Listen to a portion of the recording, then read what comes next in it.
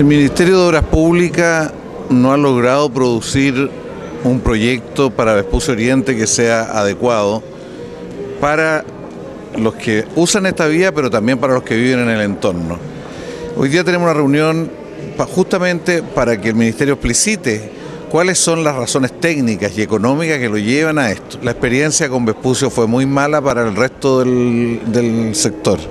En el caso de la Florida cortó por la mitad, separó a la gente de manera muy fuerte.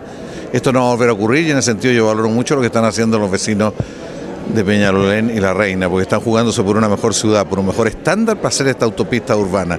Y eso yo creo que es clave, porque no se puede seguir aceptando el nivel que tuvieron el resto de los tramos de América Vespucio.